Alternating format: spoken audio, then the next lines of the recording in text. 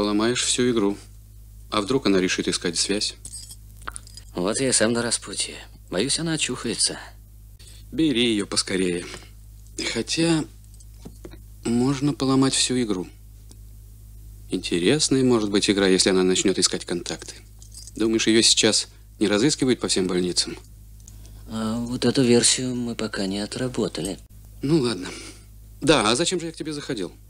Я стал склеротическим идиотом. Я же шел к тебе за снотворным. А, Все знают, что у тебя есть прекрасное шведское снотворное. это верно.